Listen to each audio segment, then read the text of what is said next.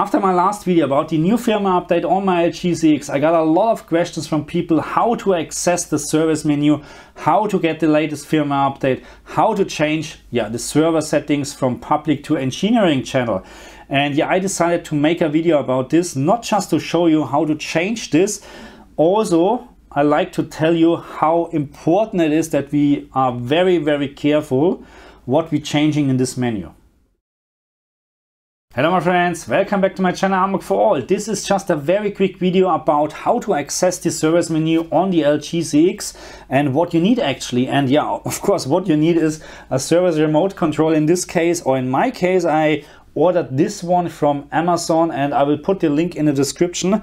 And the uh, model type is the MKJ39170828.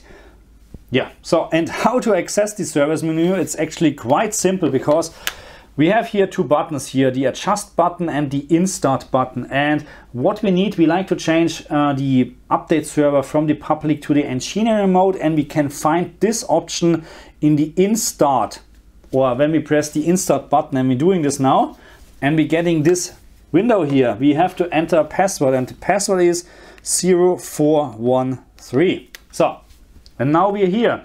And again, it is very, very important that we're not starting to changing anything because I have no idea what all those um, settings are. Yeah, what are the settings about? I have really no idea. So what I can tell you is when you go to uh, system point number five or option point number five, system two, you have this NSU mode and this is right now in user mode, which is the standard setting, which means public server okay? So when we like to change this we can actually just change this to engineering mode and then now we are on the engineering update channel. But again we need to make very very sure you need to be sure about this. If you change this and you update your TV it can also be that maybe you're ending up with a yeah with a faulty firmware with something which is not quite tested okay? But i also have to say we had the issue already that on the public server there was also a firmware update. And after this firmware update we had decreased peak, peak brightness in hdr gaming. So I'm not saying um, that the public servers are completely safe to use because still there can something happening, but this is for sure not tested at all. Okay, so those firmwares are for testing for the engineers from LG and whatever. They're using those channels to test the firmware. So that's why you need to make sure that you actually like to do this. Okay, so because at the end, worst case scenario is that you end up with a non-working TV at the end. It can happen because you don't know what they're doing wrong probably and you have no chance to yeah downgrade your TV. There's no chance. When you updated your TV to a higher firmware, there's no way to go down. No way, not for you. For the service technician, for sure, he can come, can downgrade your TV, but then you have to pay money. So, because it's not warranted anymore. Anyway, so again, make sure you like to do this, okay? So, in my opinion, um, it's is, is, it worth to do it?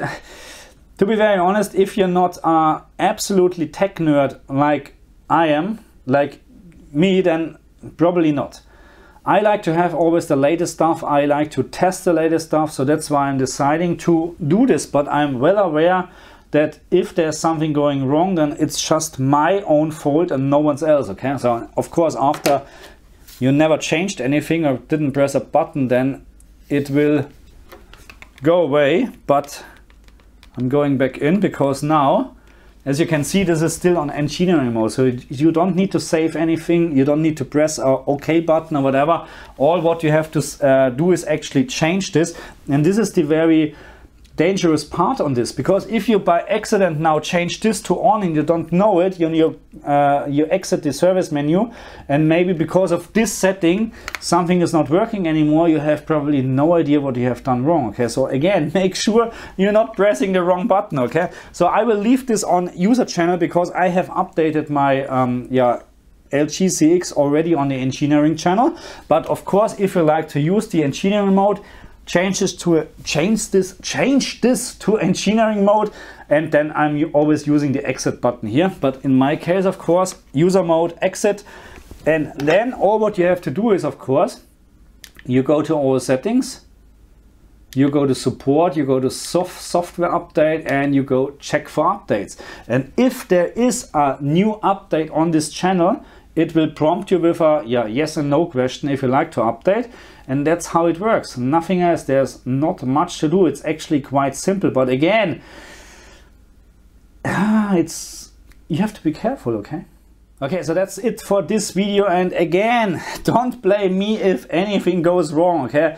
I'm having a lot of questions how to access this menu, a lot of comments always, and I like just to share how I'm doing it, but this is completely on your own risk, okay? I'm not taking any blame or any yeah, responsibility for this, okay? So anyway, at the moment, my LG CX is updated to the latest engineering firmware, which means we can now play Dolby Vision in 120 Hertz on the Xbox Series X, which is great. And if you're new to my channel, make sure you subscribe to my channel because I will update a couple of games and I will do more testing in terms of Dolby Vision plus 120 Hertz because in my opinion, Dolby Vision is the way to go. Also, in, even in games, they're not supporting Dolby Vision mm, yeah, natively, but still I found Dolby Vision is doing a little bit, yeah, HDR a little bit better than HDR10. Okay, let's say it like this. Anyway, that's enough for this video. I say thank you very much and I see you guys next time. Bye.